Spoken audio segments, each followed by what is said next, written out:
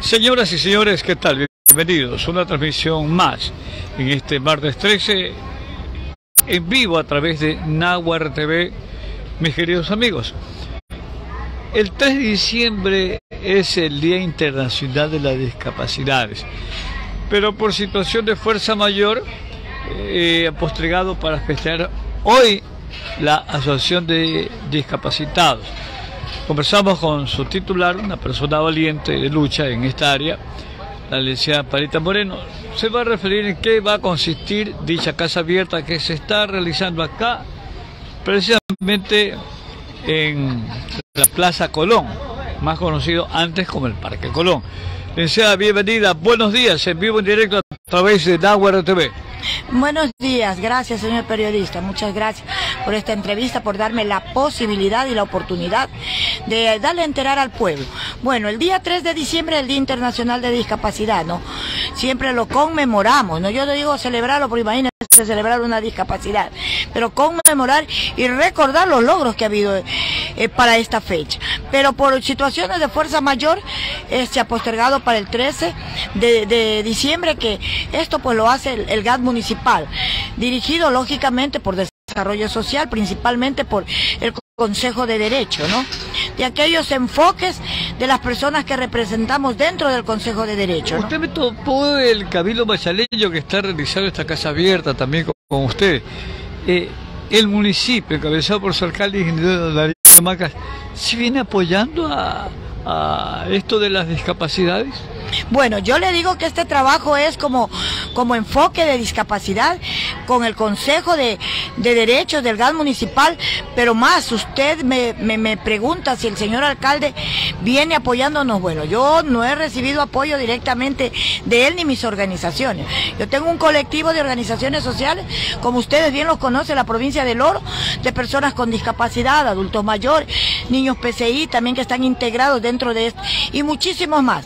Pero bueno, yo creo que a lo mejor esto sirva para recordarles que existimos, ¿no? Y esta casa abierta que da la oportunidad a varios ministerios para estar presentes y poder informar a la ciudadanía qué es lo que se realiza, qué es lo que se hace en beneficio de este sector prioritario que son las personas con discapacidad. ¿Esta casa abierta en qué va a consistir? Bueno, aquí va a haber información como usted verá, del municipio, va a estar el MIES, van a estar algunas, lo que es el Estado, van a estar algunas instituciones del Estado. Y el Consejo de Derecho, lógicamente, en representación de lo que encierra eso, la palabra lo dice, ¿no? Los derechos, justamente, de, aquellos, de aquellas situaciones o aquellas personas que necesitan. Me parece interesante, licenciada, el actual gobierno, los gobiernos anteriores ¿Qué han hecho por ustedes?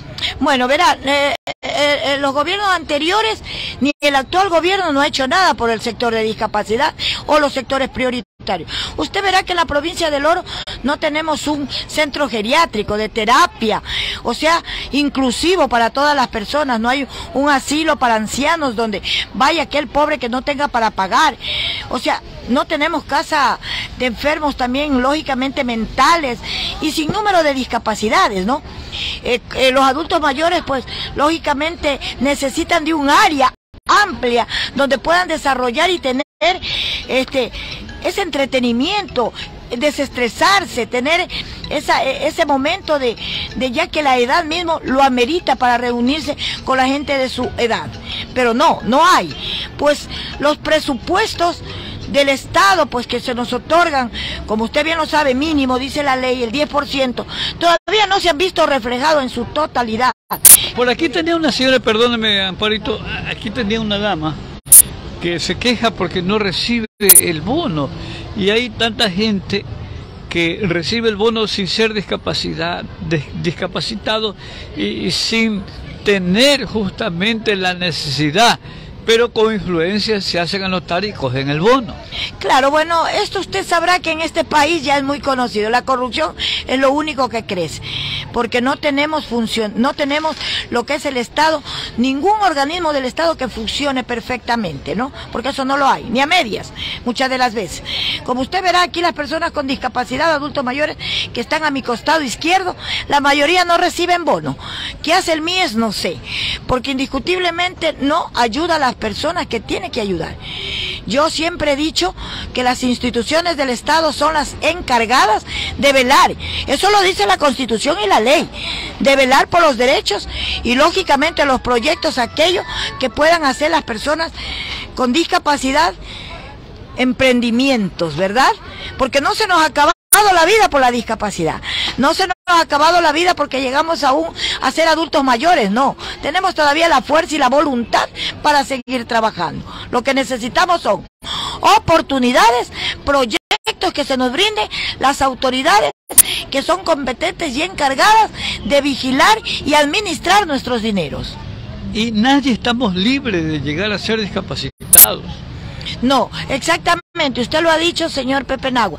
Eh, este, personas con discapacidad, bueno, antes se los llamaba personas discapacitados, más bien yo digo que más bien los funcionarios, ciertos funcionarios, son discapacitados. Nosotros somos personas con discapacidad, sí, pero bueno, sigamos adelante, siempre digo, hoy quiero que en esta mañana las personas que hemos invitado son adultos mayores de emprendimiento, son mujeres que tejen, venden sus cositas, que hacen o sea, son trabajadoras, mire, adultas mayores y con discapacidad, que van a participar dentro de esta mesa y de este, del día de hoy, de esta casa abierta, ¿no? Que nos ha dado la oportunidad, lógicamente, el Estado, como es por medio del, del municipio, el municipal, como es el Consejo de, de Derecho. Agradecerle a todas y cada una de las compañeras que han asistido pese a sus limitaciones y a ustedes como prensa por darnos la oportunidad. Gracias, licenciada, y pase buenos días. ¿no? Gracias, muchísimas gracias, señor Nau. Una transmisión más de Nahuara TV, señoras y señores. Ya regresamos con una transmisión más en vivo a las 10 con el ingeniero Carlos Víctor Zambrano, candidato asambleísta por la lista 5, plan 77. Ya volvemos.